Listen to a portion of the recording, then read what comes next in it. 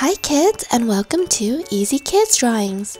Today we are going to learn how to draw a spider dropping from a spider web. Alright, start with one line going down and another line going out this way, a third one here, a fourth one here, a fifth one going out any way you want, and line number six pointing out another way. So it kind of looks like a pointy star. Alright, we're going to connect all of these lines with these little curved lines. See how that's curving towards the middle? Just a little line connecting each line to the next. And they curve inwards towards the center. Keep going, and then we're going to do another layer over here, a line connecting to that line, and another curved line, another curved line. Make sure they all curve inside. Keep going. If this is going too fast, go ahead and push pause and take your time. Or you can watch this video one more time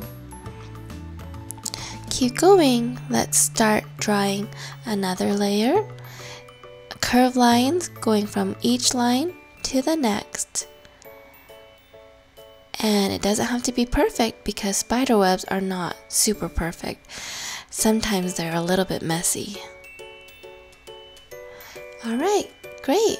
We made a spider web. Next, let's draw one single line, a web from here from here to here with a spider dropping. Let's draw an oval shape for the big body and let's draw some circles for the eyes.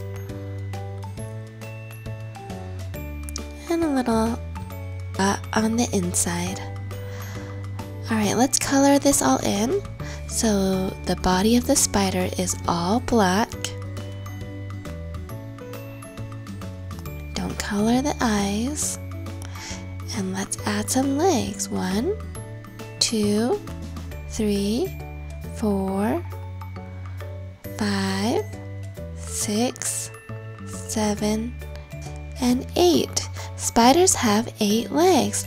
Four on one side, four on another side. And there we go. We made a spooky little spider hanging from a spider's web. Good job, guys! Alright, are you guys ready to write the word spider?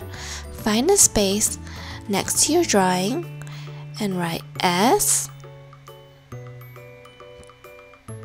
P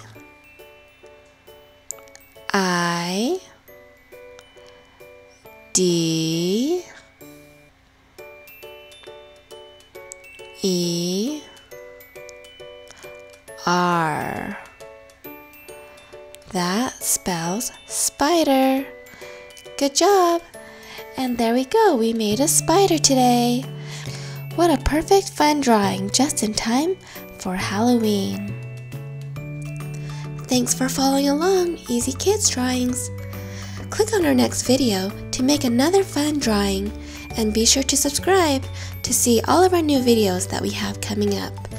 Thanks and see you again soon!